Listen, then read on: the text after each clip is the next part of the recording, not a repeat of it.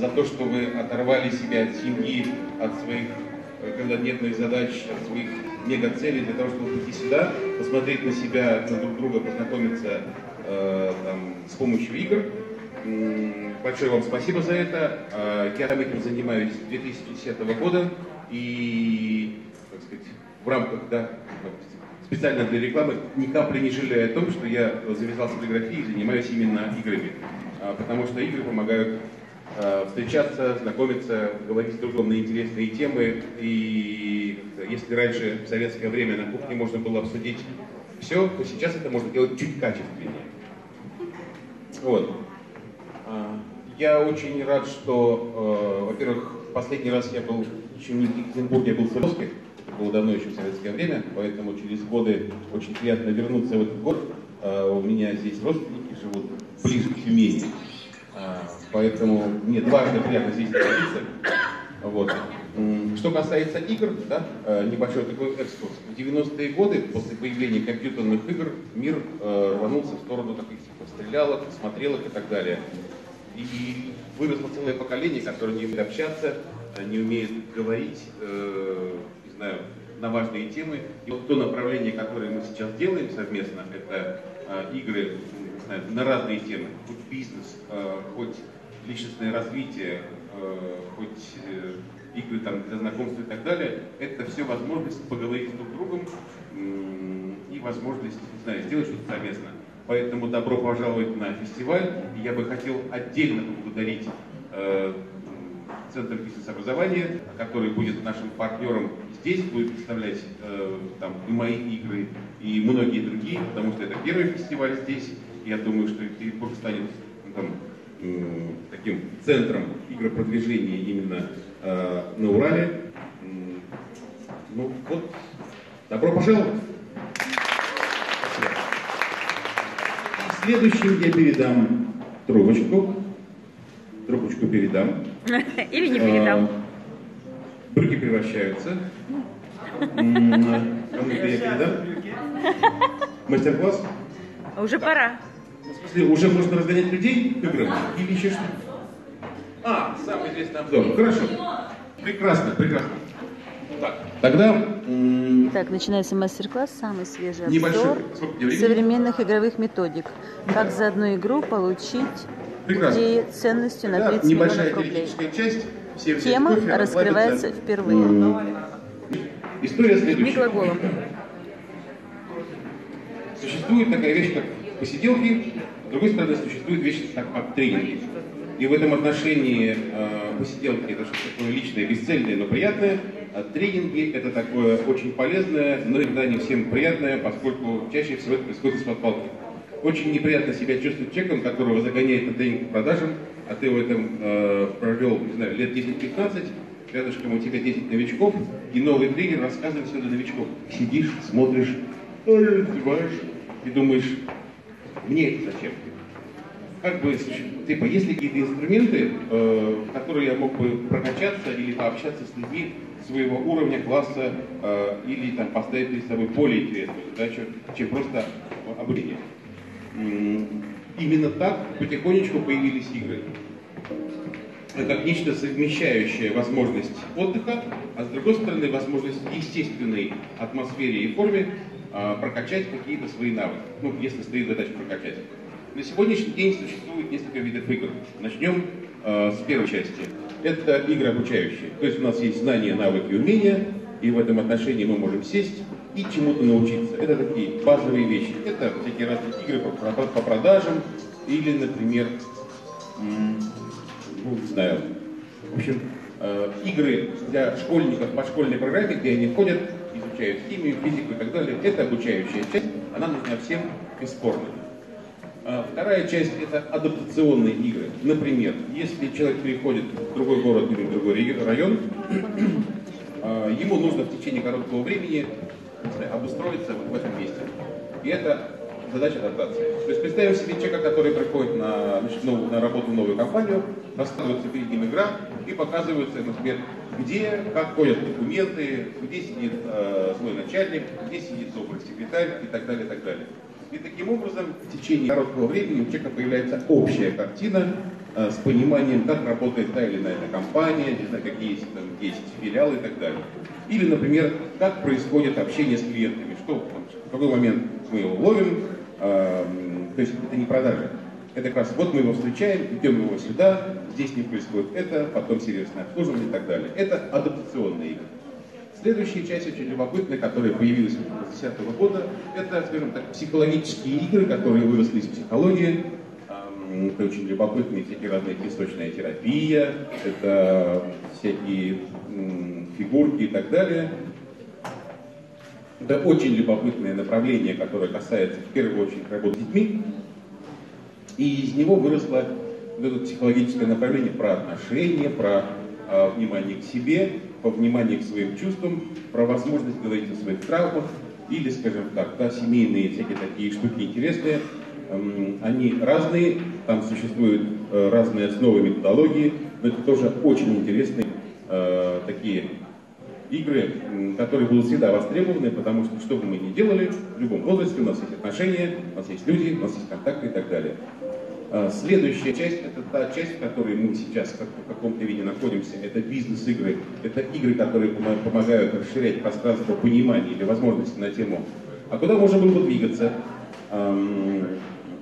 Ну, потому что для кого-то бизнес это деньги, для кого-то это клиенты, для кого-то это аренда, а, для кого-то это, не знаю, там сотрудники и так далее.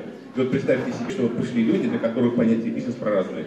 Вот они собираются вместе, и если у нас пришел человек, который занимается финансами, вот, и в первую очередь для него это суммы, договоры и так далее, и встречается там в процессе игры с другим пониманием там, про людей, про, про прокачку, про мотивацию, про ценности и так далее. И в этом отношении происходит расширение понимания, а что делать дальше, на что обращать внимание, выходить за пределы собственной зоны комфорта или там, привычного подхода к тому, что человек делает. Вот, это бизнес-игры. И следующая часть, очень любопытная, непосредственно трансформационные, которую значит, входит одна часть а, эзотерических игр, ну, то есть мир можно объяснять по-разному. А, можно с точки зрения психологии, можно с точки зрения там, возрастных всяких разных историй, можно с точки зрения там, высшего мироздания, не знаю, а, богов, духов, помощников и так далее, и так далее. Это тоже, кстати, очень интересный вариант а, посмотреть, все выросли более-менее в советское время и привыкли к какому-то одному мировоззрению. Возможность посмотреть на то, как устроен мир, а, а что если?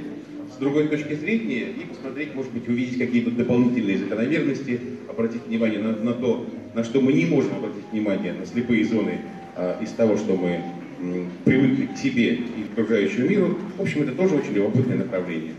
Я не беру сейчас такие там сложные сегменты, типа деловые игры, э, оргдеятельностные, там, бизнес-симуляции и так далее, и так далее. Это типа высший пилотаж для тех, кто совсем-совсем в теме.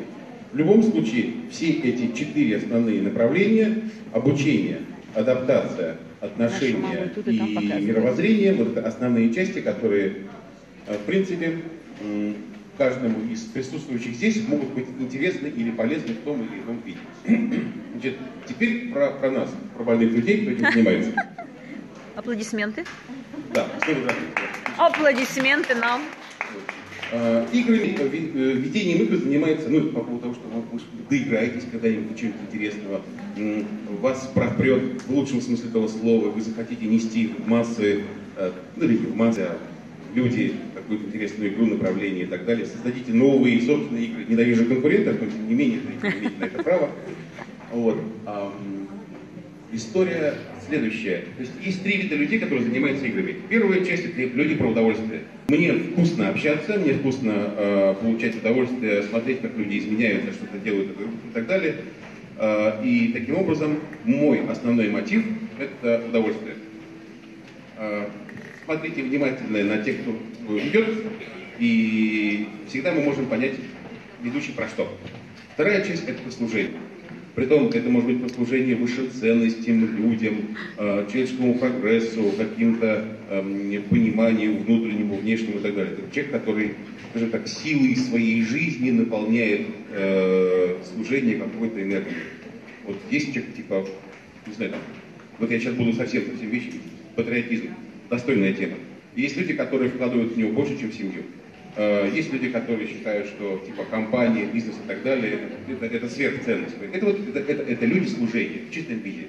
И это тоже интересная штука, когда человек говорит, что цель моя просветить страждущих, жаждущих, невеждущих, э, для того, чтобы открыть им новый мир, путь, свет и так далее, там меньше, э, меньше удовольствия, мне так кажется, это мое личное мнение, но при этом, скажем так, большая концентрация на том, вот в принципе коучинг, как в чистом виде служения, я помогу вам вопросами для того, чтобы вы поняли, осознали, расширили и так далее. Ну и третья часть, очень любопытная, это про торговлю. Есть люди, которые получают, ну типа, что такое торговля? Это возможность изменить мир с помощью обмена чего-то на чего-то. Я обменяю, не знаю, там, э, свой опыт на ваши деньги, вы получите опыт, я получу деньги, и вроде, ну, и, ну вот это... Сказал это, Евгений это, Гелик, глядя на меня. Есть люди, которые занимаются играми, потому что этим ну, выгодно заниматься, потому что игры интересная штука. Я приехал, я развернул, крутите пирожки. Ну, потому что они не пропадают, они не киснут. Ну, если их совсем-совсем типа, не мочить, не рожать и так далее. Свернул, положил, уехал. То есть высокая маржинальность и возможность положить в сторону, и ними ничего не будет, э, тоже для многих является интересной мотивацией для того, чтобы двигаться дальше. Когда я начал заниматься э, играми, это был 2010 год, игр было всего штучек 5 или 7. Русскоязычных было как раз штук 5. Э, были игры типа Лила, Трансформация, которые пришли из других стран, там, с древних времен и так далее. Русскоязычных как раз было не очень много. На сегодняшний день, вот на 11 ноября 2017 года игр больше 230. Да ладно, 300. Ну вот, ну, если совсем, совсем, совсем оригинальные и так далее. И рынок игр очень сильно, э, очень сильно развивается. Я думаю, что в течение ближайших 5-7 лет он будет развиваться, и в каждом городе появится собственный фестиваль, особенно в крупном, тем более. Э, игры займут свое такое же там, законное свое место, как психология, коучинг, э, как, не знаю, тренинги, вот, они будут объединяться с, с этими всякими разными вещами, но точно развиваться будут. А, потому что одно дело, то есть представьте себе человека, перед которым кладут э, это, бумагу о технике безопасности, не знаю, пожарной. И говорят, прочитал, прочитал, подпишись. Человек подписался. Он что-нибудь понял? Нет. В случае, если, если, если там, там Всевышний начнет сильно жечь, он что-нибудь в этот момент делает по, по, ну, по этому пункту? Типа ходить по кругу, носить, выносить первым и так далее, и так далее. Ничего не сделает. В таком случае это нужно что? Это нужно либо учение. Но учение это дорогостоящая штука, то есть мы прикрываем работу, закрываем, включаем сирену, люди начинают бегать и так далее, даем обратную связь в невежливой матерной форме. Вот. А теперь представим себе, что то же самое дело мы делаем во время игры. И мы говорим, а что ты об этом знаешь, твои первые действия, а вот если вот это, вот если вот это и так далее. Таким образом происходит э, обучение в естественной форме, без отрыва от производства, и именно поэтому игры будут очень сильно развиваться в дальнейшем. Вот. Это основные такие сведения для людей, которые хотели бы уже поиграть, но я их очень сильно отвлекаю. Вот, поэтому, если у вас есть какие-то вопросы, я предлагаю прямо сейчас задать. Три минуты. Еще три минуты? На вопросы? Три минуты? Хорошо. Три минуты, минуты. Так, да. Татьяна. Как? М. Значит, э, история была, как, э, как получить за время игры идею. Вот, да, нет, выходи, выходи. Да. Идеи. Я был ведущим. А, Это была а, игра Вопрос Matrix. повторите, вопрос Вопрос какой? Как, как, как получить за одну игру идею на 30 миллионов э, рублей? А, Это была моя игра, я как ведущий проводил игру Matrix, э, автор является Евгений Геля. В процессе игры была сгенерирована идея, которая э, впоследствии компании принесла 30 миллионов рублей. Я не хотел бы вслух называть эту компанию, но она достаточно известная. А, Речь шла о том, что идея, она лежала на поверхности в соседнем кабинете, на полочке. И когда в процессе э, генерации моз- ну, как, э, мозгового штурма э, раздался, как Евгений говорит, э, хлопок одной ладонью. То есть па! у нас идея лежит в соседнем кабинете, мы ее не используем. А, то есть, собственно, игры, и у игр э, происходит такой эффект, что у людей открывается э, доступ к собственным ресурсам, э, которые они годами хранят где-то у себя в голове на полочке. То есть у нас у всех есть те ресурсы, которые нам нужны для достижения наших целей, для достижения наших э, каких-то вот то, что мы хотим. И эти идеи у нас спрятаны. Мы их храним где-то там у себя в, в чуланчике. Да, сейчас. Вот. И игры позволяют эти идеи достать и начать притворять их в жизнь. Передаю обратно. Спасибо, Сергей. Это, это про твою историю. Я скажу про свою более предметную. Когда мы тестировали матрикс в начале, ну там собрали кучу психологов, так получилось в доступе, и к нам пришел мужчина, который э, занимался банковскими э, ну, штуками, которые продают, и, в общем, э, завод-изготовитель дает какие-то штуки для банков. Он перечислил все, из того, что он перечислил, мы поняли только одну единственную вещь. Ну, в общем, штука биометрические сейфы. Ну, сейфы. Он говорит, типа, а как их продавать? Давайте поиграем, мы на это же придумаем. И в процессе игры получилась интересная идея. То есть, типа, э, чаще всего эти штуки идут в банк. И пришел человек, открыл ячейку, облизнул, нажал, открылась. А в процессе игры появилась вот такая идея. Эм, представим себе, что человек приезжает на день или на два, ну не знаю, там крупный город, Екатеринбург, Москва, Питер и так далее. И он ходит вот с этим чемоданом, с документами, э, и у него есть сутки, ему, не знаю, там нужно, есть люди, которые занимаются переговорами в ресторане или в спа. Неудобно ходить с этим делом и переговариваться, либо лежать под массажистом и так далее. Поэтому э, просто отдать охраннику это невозможно. Ну, потому что охранник, особенно если он знает, что это такое, за какую-то небольшую сумму с этим исчезнет. Ну, вот. Э, значит, исходя из этого, в местах, где могут переговоры, а это может быть ночные клубы, салоны, рестораны и так далее, и так далее, если вы разместите вот такие, такие ячейки с, биометри, с биометрическими данными, то человек может приехать, переодеться, положить это дело туда, закрыть на личные свои данные и, соответственно, идти на переговоры. Типа, в процессе, ну, мы так все ему наговорили, мужчина отошел в сторону, открыл значит, бумажку, сказал, так, сколько в России городов-миллионник, сколько там ресторанов, сколько там э, вокзалов, ну, потому что такая же вещь тоже может быть на вокзале там, аэропорты и так далее, сказал, ребята, там, эм, вы мне нашли сейчас аудиторию, про которую я не думал, и назвал сумму, там была сумма немножко побольше, но по большому счету это была история про то, что никто впрямую не догадывался о том, что это можно каким-то способом э, продавать не только в банке, а еще вот такие организации, да. Евгений, вопрос. Можно вопрос? Да. Если уже разработано вот большое количество игр, имеет смысл изобретать велосипед, создавать какие-то новые игры, или лучше брать вот то, что создано, и с этим работать? Всегда. Вопрос повторите, потому что... Да, вопрос такой, если существует уже целое количество игр, Да. стоит ли придумывать некоторый велосипед? Да. А, Я думаю, что велосипед придумывать всегда стоит, потому что, ну смотрите, у нас существует вещь как психология. В психологии школ подходов, начиная там Фрейд, Гештальт, э, психодрама там, и так далее, и так далее. И, и они в этом отношении работают. То есть эм, каждый из них придумывает что-то, что продвигает дальше, а так бы мы сказали, велосипед есть, зачем, у нас есть велосипед, у нас есть телега, зачем нам автомобиль? То есть, во-первых, это полезно для вашего личного прогресса, а во-вторых, там, мой учитель говорил о том, что люди приходят, э, из 100% людей, которые приходят на игру на тренинг, 30% приходят на вас лично, 30% приходят на тему, остальные 40% случайно. Значит, э, то, как вы это делаете, то, как вы это дело подаете, люди приходят именно на вас. Э, Не всегда на тему или на игру, а именно на вас. Смотрите, вот если такая вот тема распространенная, как продажи, по ней уже много всего создали. Немного. Есть немного? Нет, очень Имеет- мало. Имеет ли смысл создавать новую оболочку? Имеет, если- потому, потому что есть такая вещь, как качество. Есть, ну смотрите, да, у нас есть новички, их нужно обучать. У нас есть диагностика, их нужно диагностировать. У нас есть развитие, у нас есть передача опыта, у нас есть возможность э, прокачивать и давать, не знаю, там, э, работу с профдеформацией для людей, кто дошел до какого-то уровня увидеть не может продажи, но делать это хорошо.